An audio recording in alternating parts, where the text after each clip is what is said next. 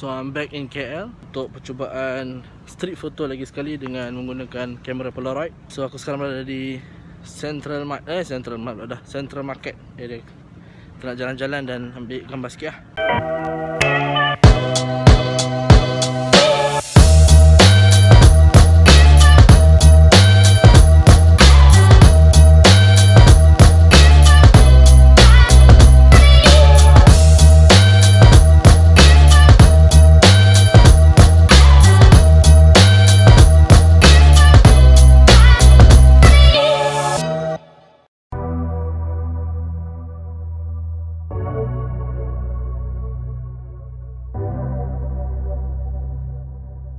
So I'm right now at uh, River of Life. Ambil gambar Masjid Jamek belakang. And a few shots of uh, skyline City nya KL, KL City punya skyline. Selain daripada kamera ni Aku juga bawa kamera lain. Juga bawa Ricoh aku. Just for my digital copy. Kod-kod aku punya printed Polaroid tak lawa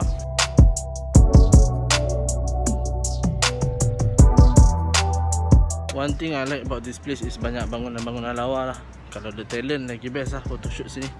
So aku just jalan-jalan sini pusing And ambil gambar building lawa-lawa lah. Okay so aku dah jalan-jalan pusing area KL Mostly area Central Market, area Petaling Street Area Masjid Jamek sana.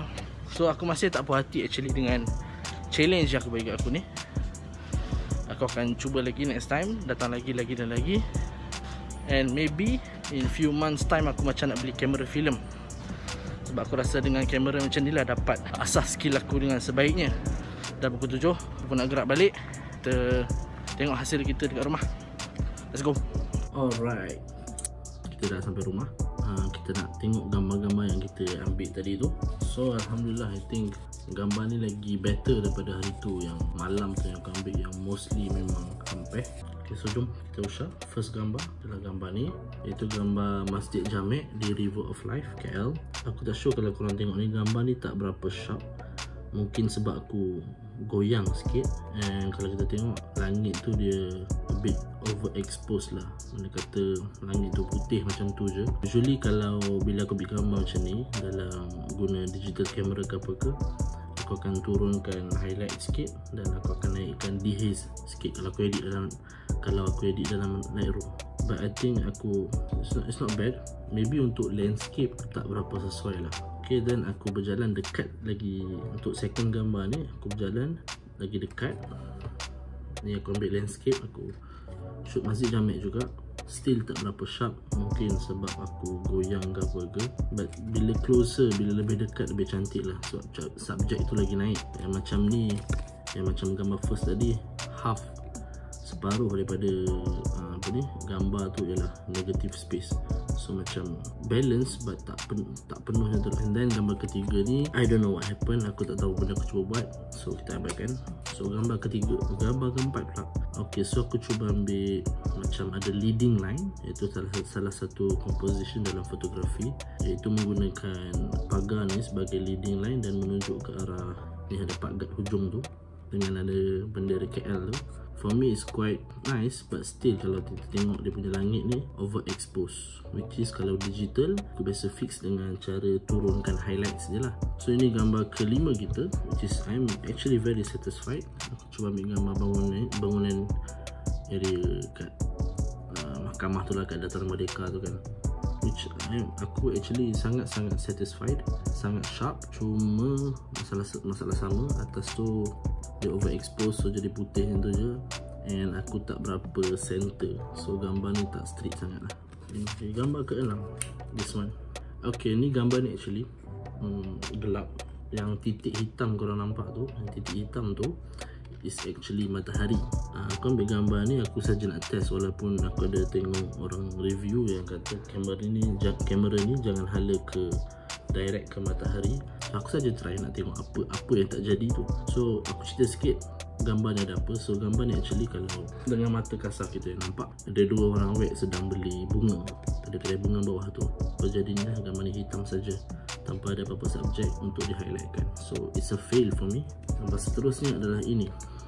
Okay one thing about this is color dia tak sangat tak berapa vibrant. Kalau kita tengok pattern tu lah yang ombak-ombak tu dia actually vibrant lah dengan apa benda color biru color pink dan ada graffiti sebelah tu. Sangat cantik dan masalah sama overexposed. And aku perasan dia punya color ni a bit soft a bit macam soft lah. Dia tak dia tak vibrant. Okay this one is also my favorite aku suka gila gambar ni. Ini area Petaling Street tu jugalah jalan orang lintas jalan. This gambar ni would be better if orang ni uh, dia menghadap aku lah. And then still masalah sama overexposed. And this is also my favorite. Dalam street photo aku cuba nak sampaikan sebuah gambar yang bercerita. Gambar dia iaitu orang sedang angkat kotak masuk dalam lori loading barang dalam lori. And orang ni moving so kalau korang tengok closely dekat orang tu kotak tu blur tak sharp sebab dia tengah bergerak. Macam aku kata hari tu kamera ni tak kamera ni tak ada setting shutter speed ke apa ke so tak boleh ambil gambar. Yang fast shutter lah mana contoh last gambar adalah di Petaling Street. For me not bad but aku rasa next time mungkin aku perlu lagi close up dekat uncle yang cedok soya tu but bila ambil gambar ni dia jadi fokus dekat tengah je.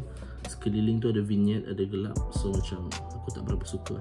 So Alhamdulillah ke 10-10 gambar ni actually aku suka. Ni actually 25 April. So kamera ni memanglah dia untuk portrait Sangat cantik. Bila ambil gambar portrait ataupun gambar subjek yang ada orang So sangat cantik. Aku sangat suka. So anyways um, Vlog aku hari tu aku ada ceritakan Yang aku rasa macam nak beli kamera film So Alhamdulillah I did bought a film camera. Iaitu Canon EOS 55 aku dah gunakan satu um, roll film dah 28 shot dah tu. Kamera ni actually banyak function dia yang aku tak betul-betul explore lagi. So far aku just guna manual and aku tak check lagi mode-mode yang lain ataupun all this all this button semua benda aku sangat-sangat tak familiar. So more review about um, hasil gambar yang aku shoot guna film kamera ni akan datang next. Sebab aku tak pergi hantar cuci lagi. And slowly aku akan belajar cara guna film kamera lah. Anyways that's it. Thank you for watching. Okay I'll see you soon. Bye